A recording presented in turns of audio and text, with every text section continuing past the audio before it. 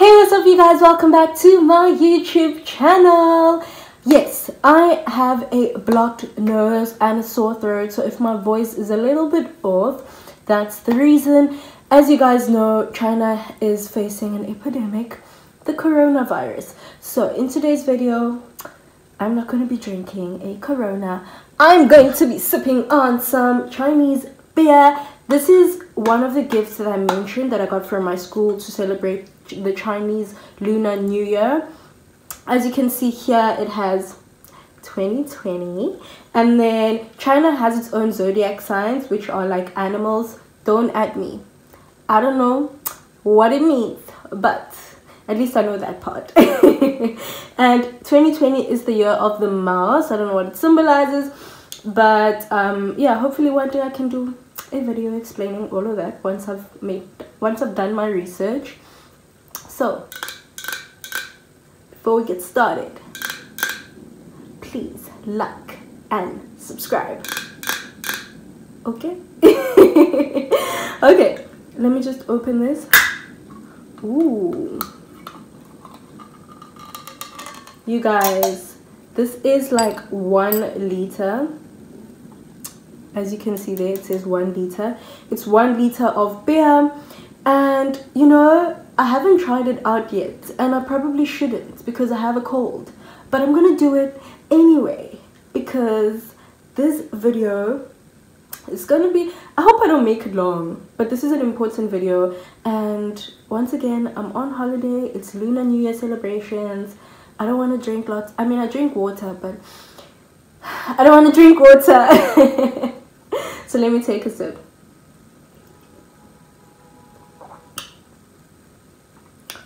Wait a minute. It tastes weird. It tastes really weird.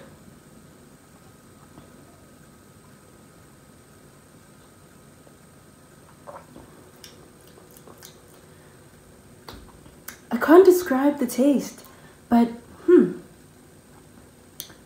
anyway it's five percent alcohol i don't know if i'm gonna finish this one liter it's equivalent to ingudu but eh.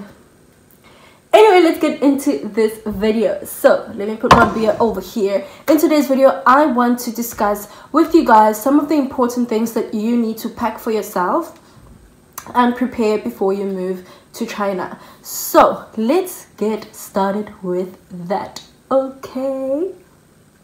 Let's get started. All right so number one. Yeah i know this beer is making me talk funny. Mm. This is how happy i am when i'm not going to work you guys. Like it's like a hoo-ha moment. Anyway number one is medication. So a lot of people have a a lot of people because of the jet lag okay you feel a bit offish you get a cold fever you know what i mean when you get here. I didn't when I moved here, but most people do. So I would definitely, definitely advise for you to get some Med Lemon, some Vicks, some vitamins, um, any any medication that you feel like you will need for your duration, um, for the duration of your job contract, or just before you before you you take a visit back to South Africa. Please pack medication. That is very important. I didn't, but we're not here to talk about me. We're here to help you. Okay? So yeah, please make sure that you do pack that. And then number two. Number two is spices, spices, spices. This is not just for the ladies, okay, guys? Like, even for the men, spices are very important. Once again, I did not, but you should just so that you're not frustrated with all the new um, food that you'll be eating just to have like a, bit of like you know taste of home. Spices like chicken spice steak and chop spice aromat aromat aromat aromat. Ah I miss aromat so much. You know aromat works with everything. So yes number two please make sure that you do pack your spices. Number three for the ladies feminine products. Make sure you guys yeah it's expensive. Like it's so expensive and guys cover your ears but ladies um unless you buy online, which in your first month you won't because of the processing of your bank account and all of those things, you won't be able to shop online. So you will not be able to buy tampons. I would definitely recommend that you bring enough to last you for the first three months. Okay. Any feminine products that you do use, stock up. Makeup as well. This shade. Don't have this shade okay? You're going to struggle. So do make sure that you stock up on your makeup and feminine products. And then toiletries okay? The next one is toiletries. Toiletries are super super important okay? Thing is over here you are going to pay double the price. Like i am shocked at how expensive vaseline vaseline is and then when it comes to body lotion, it has whitening in it.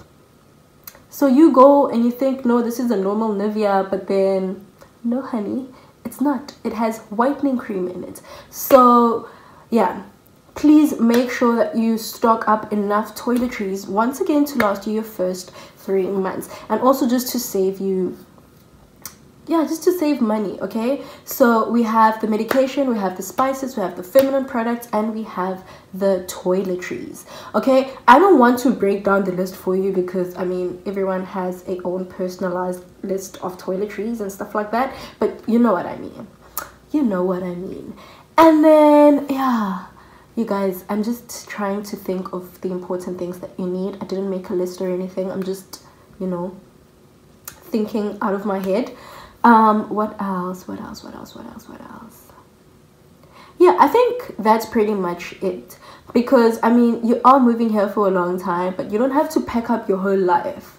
Okay? Just the things that I just mentioned are some of the important things that you should definitely bring along with you when you do come to China. So, yeah.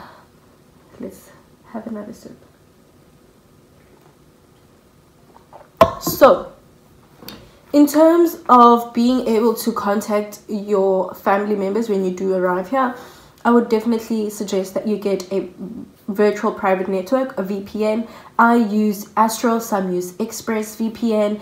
Please comment down below if you are in China and there's other VPNs that you use and you think are effective. Please recommend to people who are going to watch this video. So go down into the comment section and please leave a comment on any VPN that you are using or have experience on and yeah if you are still if you are still in the process of getting your things together and you haven't come to China yet, please try and find um, free VPNs to use, like maybe for your first month or whatever.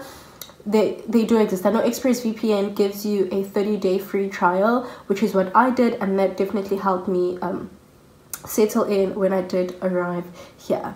Okay, so now I want to get into the part where I want to talk about the cost of living. This was someone's question in one of my comments, um, in one of my videos, and I'm going to be really, really honest about the cost of living.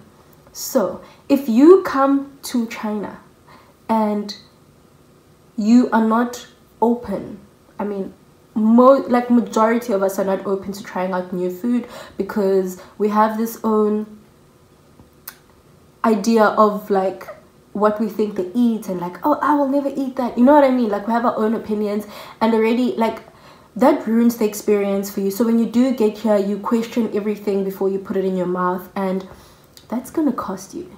Because when you come here you're gonna get excited okay? You're gonna see burger king you're gonna see kfc you're gonna see mcdonald's and you are going to want to eat that for the whole month no, boo boo, it does not work that way. You have to try and eat Chinese food. It's cheaper, or just buy groceries, okay? So, to be really, really honest with you, if I give you an amount based on just food that you're going to need for your first month in China, I would definitely say four to five thousand rand just to be safe. Also, this means that you will not eat um, McDonald's, KFC, and Burger King every day. Okay, you will actually buy some groceries and cook for yourself just to survive the first month. Okay, and then another thing I wanted to say is that um, the currency is two to one, China being the highest, and then um, so you will probably spend one five to two which is 4000 rand. But just so that you don't go broke i would definitely say budget around 4.5 to 5000 rand for your first month. However i know like most people move to china and before you do that you already quit your job and you've already invested so much. Some people also buy their own flight tickets. So financially it's a lot. But i will say that with just um how much 4000 rand which is a thousand rmb you can survive. But that means you will not be eating kfc you will not be eating mcdonald's and you will not be eating burger king. You'll just be buying your normal groceries and eating that. Also i did want to say that the food prices are pretty much the same as they are in south africa. It's just that if you want to buy brands that you know maybe if you're in a bigger city and you go to the shops that have um, things like um, how can I make this example? But not South African products, but like maybe Australian products. Um, those, those products are more expensive. Anything that's not from China is going to be a bit more expensive. So when you do move this side, please think about that be cautious of that. Don't just go grabbing anything you want okay? Um, just to make sure that you survive your first month. The reason why i'm making this video is because when you do sign that contract and you come here you don't get paid just like in south africa for example you start a job on the 2nd of January and then people get paid on the 15th so you also get paid. No, it does not work like that here. Here you have to work the full month and then you get paid on the pay date of the next month. That's why it's so important for you to watch how you spend your money and what you spend your money on. Majority of the things that you will need is food. That's all you will need. Most schools do offer accommodation, which is fully furnished. And oh yes, one more thing. I'm talking so fast. I don't know why. Let's chill. Yeah i did want to say if you can pack a mattress protector or um, bedding like your own pillowcases and a sheet um, just a tiny little blanket for yourself for the airplane as well as when you get to your apartment. There's no guarantee your apartment will be clean. Don't know.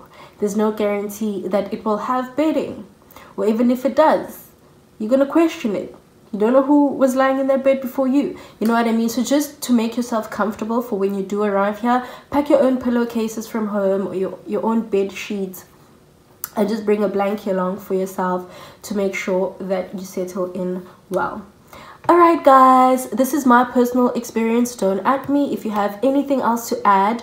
If you are in China, please leave a comment down below if there's anything that I left out and you want to help people who are thinking about moving to China or in the process of getting their things together to move here. Please help me. My phone is like facing the sun. The temperature got a bit hot and the video turned off but I did want to say yes please help me help those that are on their way here so if you do have your own personal experiences please leave a comment down below and once again, thank you, thank you for tuning into my video. See you in the next one. Mwah!